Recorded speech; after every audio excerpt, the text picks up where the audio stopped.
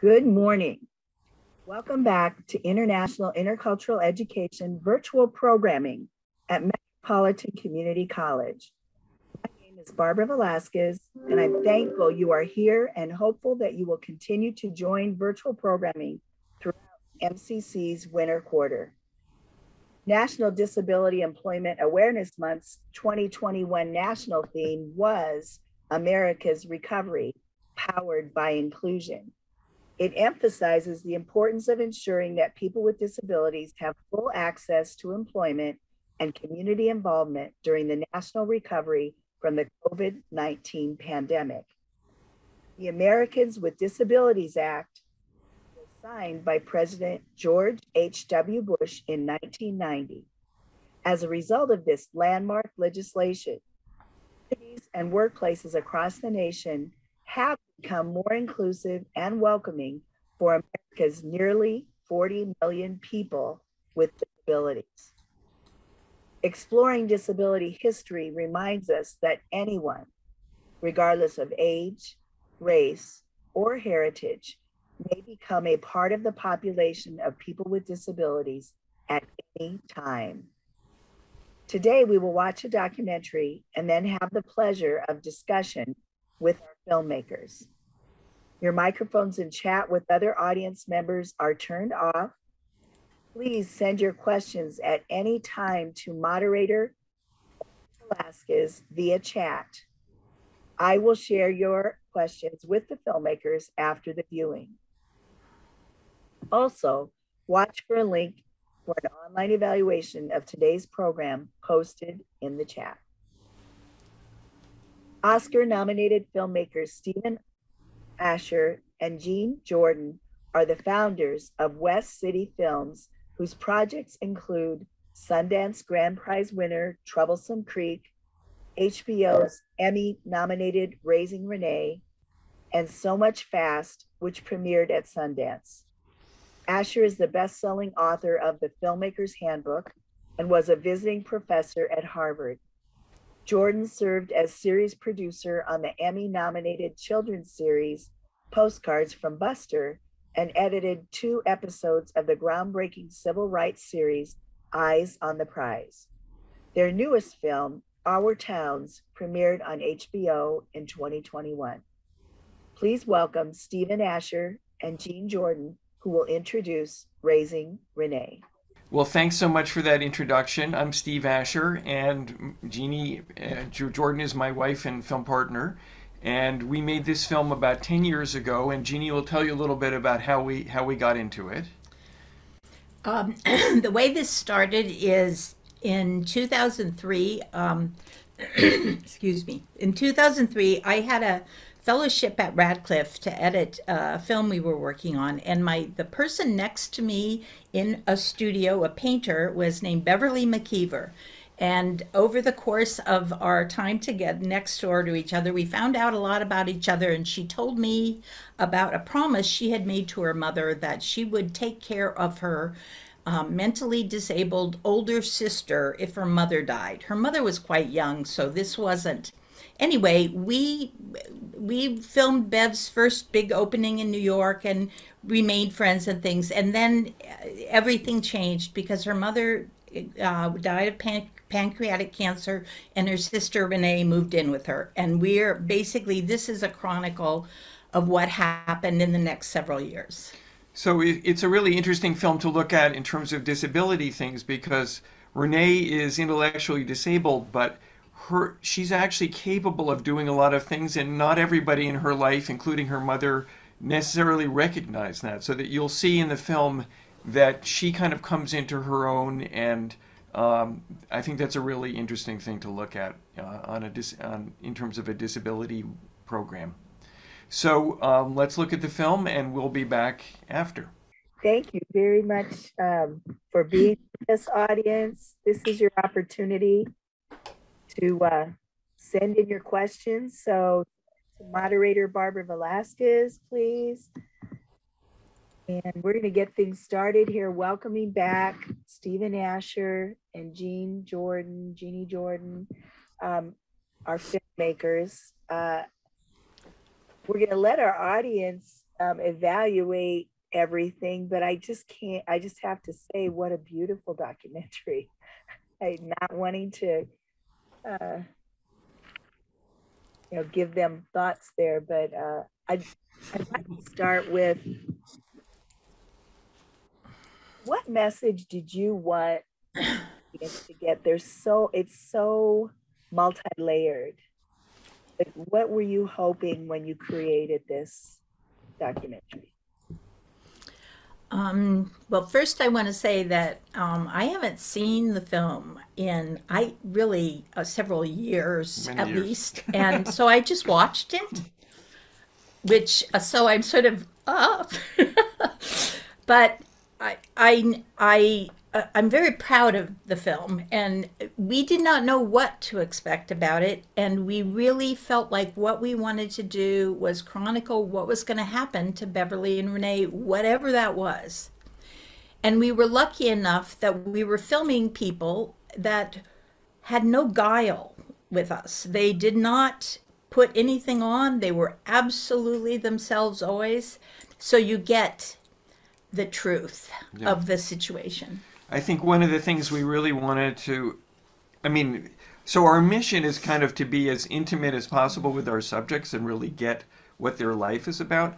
But I, as we were editing the film, you know, one of the things that was really important to us was to kind of go against the cliches of what it means to sacrifice yourself for somebody else or be a caregiver that Beverly is sharing with you both what the great joys of taking care of Renee and the great difficulties and she's very honest about both of those things. And sometimes people are afraid to show that stuff in public because they think it makes them look less heroic or something. And we felt that she was more heroic because she really stepped up in a situation where she had no intention of playing this role. And she's done it for Renee. She's doing it for her dad now who's 90 what how old is he I, I don't he's, know. he's over close 90 to 100. but I the think. dad that she never met until she was 16 years old she is now taking care of and you know we just have so much admiration for that Also, um, I just personally want to say we were just talking. Bev is could also be a stand-up comic. She is a very, very, very funny woman and so much fun to be with. Um, so we all actually had a very good time while we were making the film.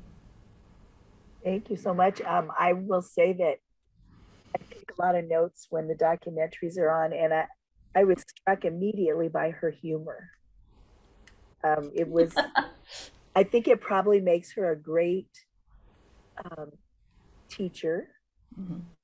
uh, because she's she uses humor, but she also uses um, this deep emotional connection Right. Maybe with people she's just met, right? Like Yeah.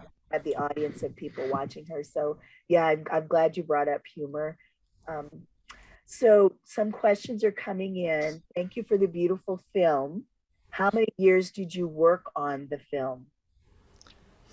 We we don't want to think about that. No, um, a long It- it- time. it's probably well, we five the, years Five years, probably. Yeah. I mean, we are, we're always doing more than one thing at a time. And when you're telling a story like this, you don't know where it's going to go or when it's going to go there. And we actually had been filming, you know, we between filming and editing, we had been working for, you know, three plus, maybe four years, and felt like, okay, this is long enough. We got to finish this film. And at that point, Renee was still living with Bev. And we just figured, okay, we have to somehow wrap it up, whatever. And then Bev called up one day and she said, I don't know if you're interested in this for the film, but Renee's going to be moving out on her own. you know, do you think, do you, might you want to film that? We were like, uh, yeah, I- that, that could be interesting. So the whole kind of last 20 minutes of the film, uh, you know, arrived in year four and allowed us to finish the film and make it have a completely different meaning than it would have had right. before that happened. Um, I know when I initially communicated with you, you said that COVID had kind of um, detracted for your from your interactions with Renee, but we have an audience member wanting to know if you know how Renee is doing, and do you have chances to keep contact with Beverly and Renee? We we do, and and we always keep in contact with any people we make films with because you become more you become friends over the course of doing something like this. Um, and Beverly and Renee are both doing very well. We just talked to Bev, and you know they things are things are really um, moving along they got through covid beautifully beverly has moved to greensboro so she is now not in raleigh anymore. She's close by renee. So and as steve said she's taking care of her father.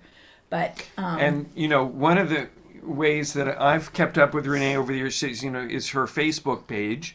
And she's always um, flagging when people have birthdays and when she has birthdays we're all writing in. And so i mean facebook has been a good way for her to stay in touch with i mean she is such a community focused person. Okay. And she you know has these long lists of everyone's birthdays and who she loves and you know who's got cats and you know so she's uh, though I noticed recently that there weren't as many postings on her page, and I don't know if they've they've dialed back on that. But well, Bev often thought she was posting too, too much, too much and yeah. she posts in all caps. So Bev and yeah. I used to joke that she was e shouting at us, but um, anyway, but she they are both doing well, and I think you said Bev has a big yeah. show in Arizona coming up, a big retrospective, and they're going to show the film. And she said that the the museum has bought a hundred potholders, which they will give out as part of the exhibit. This was one of the great things when the film came out, and all the time, every place it was shown, including at HBO, is Renee came and sold potholders. and people bought a lot of potholders, and she was thrilled. Yeah, but she kept jacking the prices right. up, of course, oh. which was you know yeah. hard. Yeah, she's a businesswoman. So there's a couple things that you said that struck me. Um, it really came. well, first of all, you talked about she was such a community person, and right in the very beginning of this documentary, um, Beverly talks about how she, her life was so different from the life that her mother and Renee lived. And one of the things she mentioned was that she had purchased a car for them. And with that car, they did de- deeds for people, all good deeds for people all the time. I thought that was a really nice, um, it's just a nice example for us. You know, um, I may have said this to you, but in December, I try to select programming that kind of is heartwarming and it reminds us of ways we can give back, etc. And so that was one message that I thought was beautiful. And then after she moved, Renee moves into her apartment, that beautiful housewarming party. Mm-hmm. It's so evident of how community helps people mm. right forward. And and the church service too. Right. The, and that whole discussion in the, church the church. whole church felt responsible. Yeah right. for this. It's it's not just Renee's family. So I wanted to point out you had asked me previously if there were classes coming and who might be in attendance. So this is a shout out to instructor Laura Lamar, who is here with her marital and family relations class. And I think what a beautiful um, connection I hope your students are writing down they're in their very second week of class, but all sorts of topics and themes that you can discuss for the rest of the quarter. But um, what what would you, Stephen and Jeannie, say about the family relationships, marital relationships topics that are just sewn and woven throughout this entire documentary. Well, I think, you know, we were really kind of, um, you know, when we met Ethel, uh, Bev and Renee's mom, you know, this is a woman who was a single mother who worked as uh, taking care of people's houses, raising these kids, and what an incredible uh, sacrifice and you know effort she made to to do all of that um, you know and that then, but she, the, a, a, piece of that was also that she saw Renee in a certain way and what, had these assumptions about what Renee could do. And Bev had a different idea of what Renee's life could be like. And she was there to give her, you know, to take her from Ethel and give her that same kind of life. But at a certain point, she said, you know what? I think Renee can do more. Right. And that, you know, that's kind of the, the odyssey you see in the film where Renee actually loves living on her own and having her own place. She's still in the community and she's got relatives nearby. It's not that she's alone, but that amount of independence was something that Bev could see and her mom couldn't.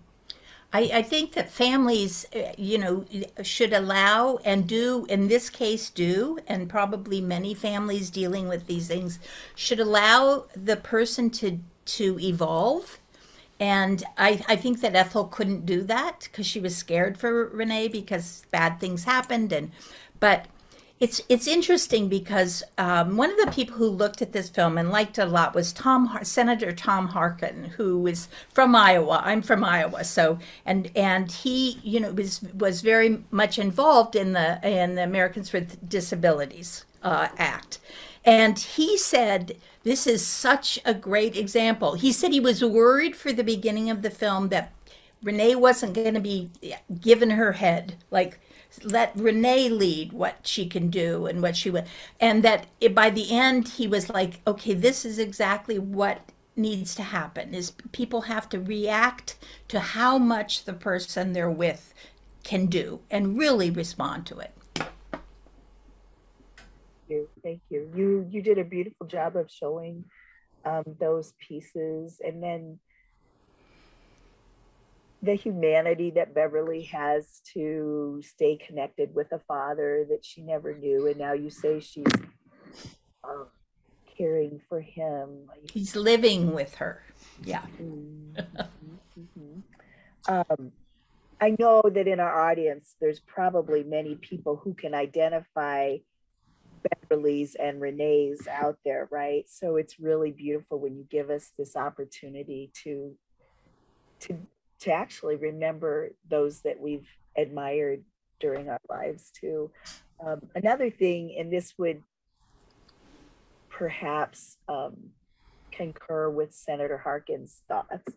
Um, it's so easy for persons with disabilities to be discriminated against and you know shut them out of life think they can't do um, for maybe loving reasons but also not loving reasons. And um, I, I just think that the way you have shown renee helps us to see that in some ways her communication was more mature than many of ours.